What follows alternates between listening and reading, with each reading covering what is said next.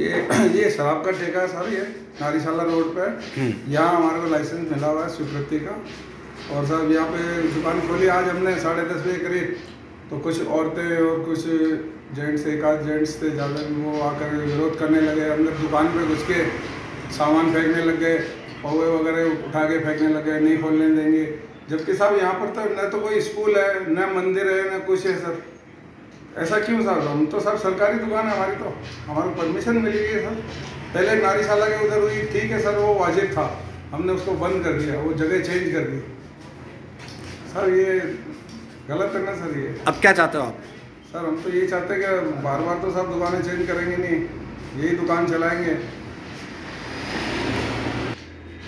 जी साहब जिन्होंने ये कार्रवाई करी साहब ये तोड़फोड़ की एक लेडी है आशा नाम उनका कुछ ऐसे ही नाम है सर।